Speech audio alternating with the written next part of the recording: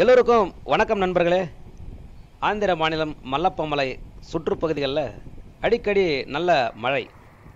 இந்த மழை பொழிந்த காரணத்தால் குட்டைகள் குளங்கள் ஏரிகள் நிரம்பி உபரி நீர் வெளியேறிக்கிட்டு இருக்குது.